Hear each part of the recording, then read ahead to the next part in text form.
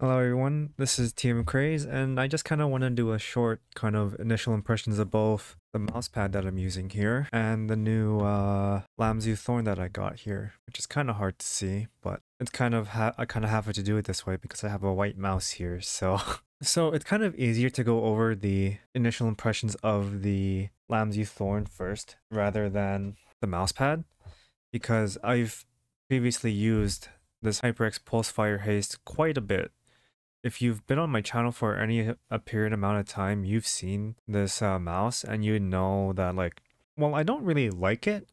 It's been pretty good to me, right? Like I kind of hold it like this and, you know, kind of do the thing. This is a, this is an ambidextrous mouse. I can kind of go over to it like this. You can also see it from the bottom here that it's very symmetrical, right? Whereas with the Lamzu Thorn here, it's not as pronounced. I'm trying to find a good angle that lights it up, but I think it's better if I just go here. You know, it's more of an ergonomic mouse, right? So, you know, obviously for one, it's the way I hold it, where you can kind of see I hold it like this. And the HyperX Pulsefire Haste, I hold it, I hold it like this. It doesn't really look like a whole lot, but I don't know if you can kind of see like, yeah, you can kind of see on the underside, like how I hold it.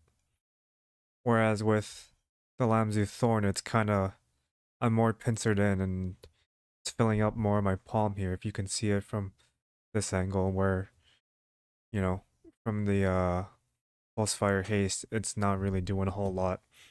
It'll take me some time to get used to a ergonomic mouse again because I've been using the Pulsefire Haste for so many years, but it should be okay.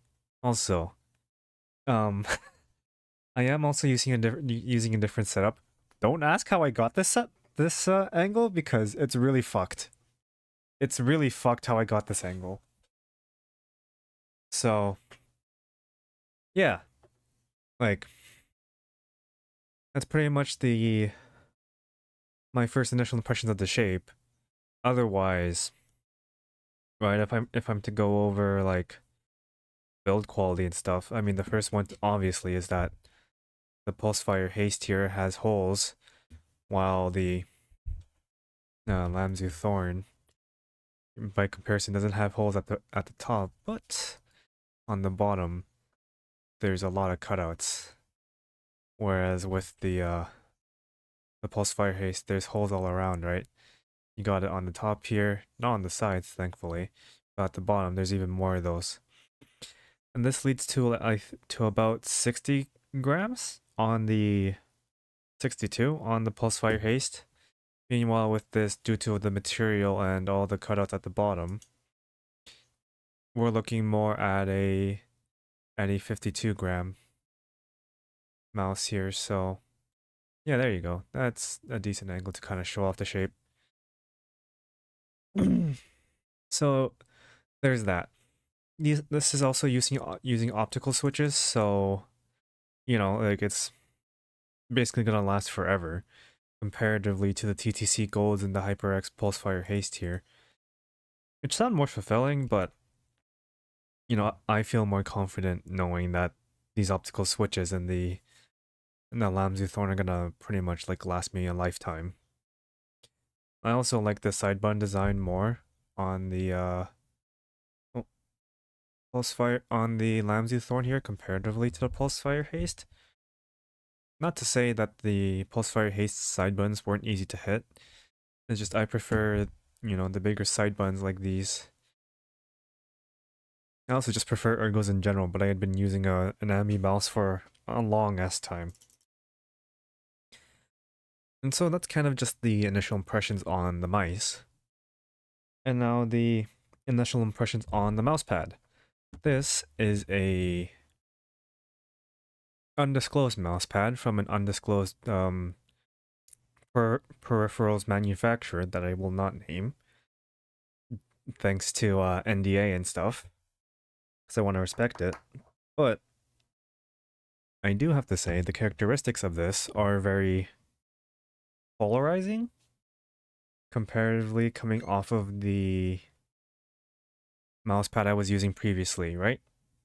So the mousepad I was using previously, if you've been on this channel before is the uh, PureTrack P51. Not on my desk right now because I still have to test this pad.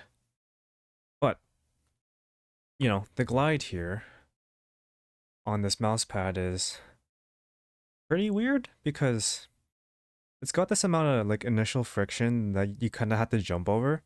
But then once you get over it, it actually glides pretty fast, right? If you can see that with the Pulsefire Haste. And with the, uh, what is it? The Lamzu Thorn here.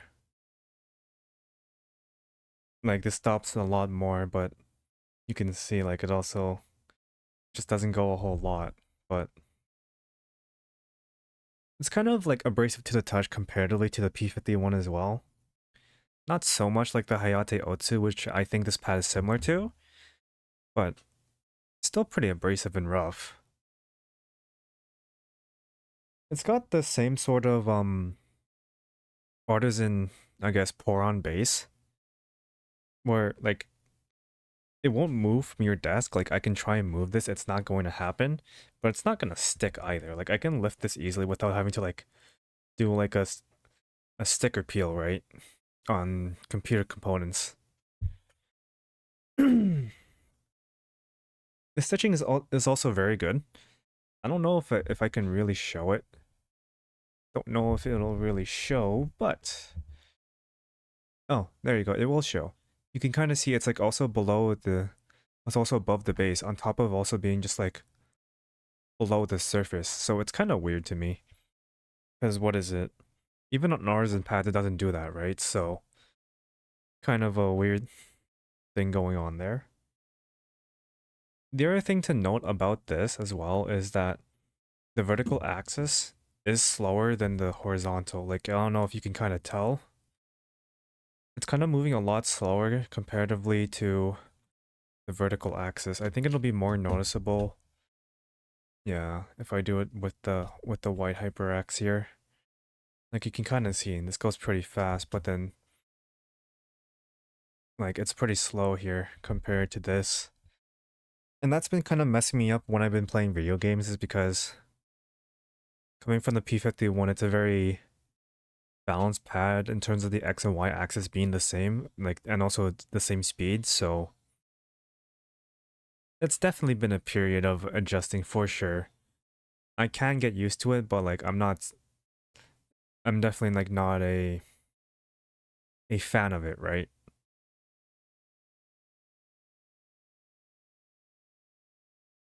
Apart from that, that's kind of everything I have to say uh, say about these if you uh if you like the the glide test video there that I that I sent out and you liked my initial impressions on both of these mice, I mean consider subscription, but I'm not going to you know force you into that because my channel content's pretty garbage ever since Gundam Evolution shut down, so I'll figure something out on, on that front, but Thanks for thanks for wa watching this garbage video. I'll see you all next time.